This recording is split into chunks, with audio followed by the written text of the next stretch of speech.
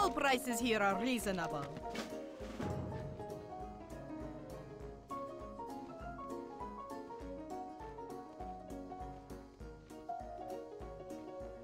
The Naru have not forgotten us.